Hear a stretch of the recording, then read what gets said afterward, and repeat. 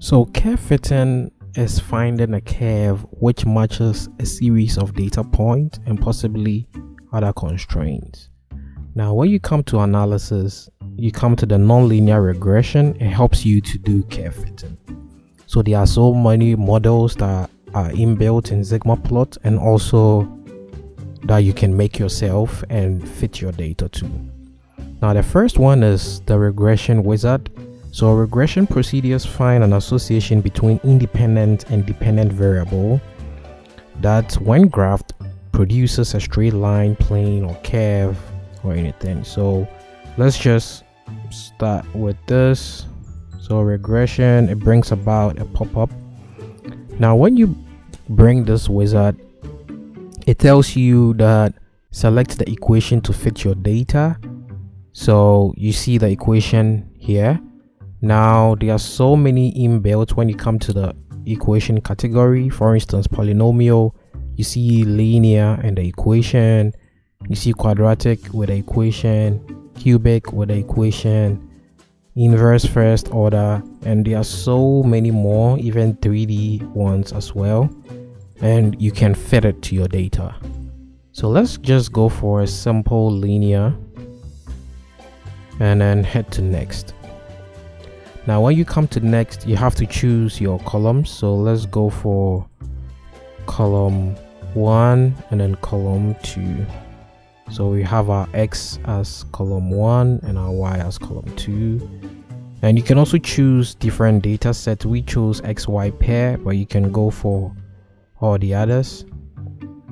And before i i forget let's come back. So if you have linear for instance you can go to edit code and this is the function. So you have equation of a line you can edit this and you can also come to the variables and edit it and run it as your own. So that is something to note. You can also come for new and set up your own equation and all. So let's go on. So this brings you to one iteration because it's not a complicated data set and it's also not a complicated model. So it converges easily. Then you go to next. Do you want to create a report and all those stuff? Let's leave that one out for now. Do you want to create a graph? And you can go for it.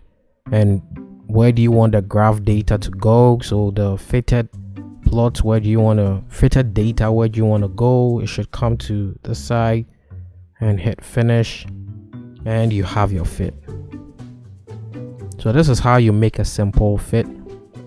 Now the regression is kind of automated for you and SigmaPlot gives you the ability to do dynamic fit. So let's come back to our data and head over to dynamic fit. Now let's just proceed to next. And let's choose column 1 and column 2 and choose xy pair. So you see we didn't have this option in a previous one. So this helps us to define some stuff and make it more accurate for our fitting if we want to adjust some stuff. So this is the automatic computation and we can change let's say the number of fit. We can change the maximum number of iteration. And then we can also change so if you come for user defined you can change the minimum the maximum and and all that. So once you change all these so let's say we change this to this is the minimum let's change it to let's say minus one. And we can change the maximum to let's say um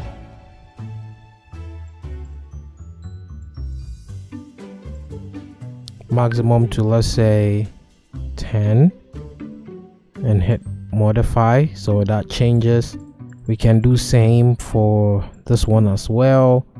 Let's change it to let's say minus 3 and then change this to let's say 3 or 4 and hit modify and it changes.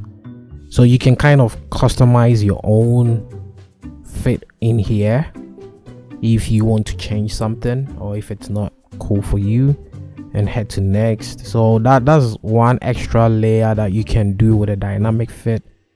And you can just go on like we did and hit finish and you should have so yeah i didn't choose good parameters so you have something that bad. But that is just to demonstrate that you can change the parameters in there and then the fit will change.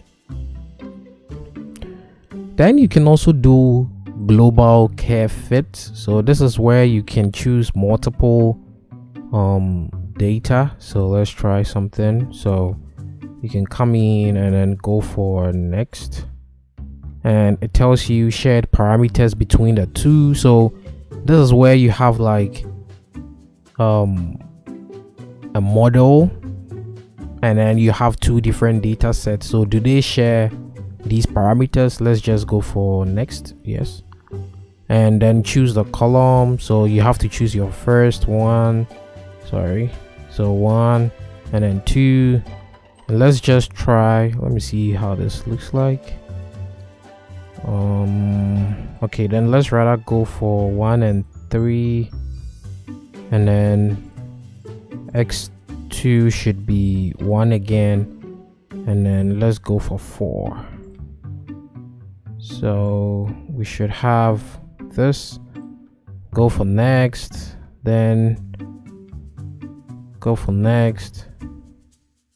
Go for next. And then head to finish so you see the fit between these two data sets?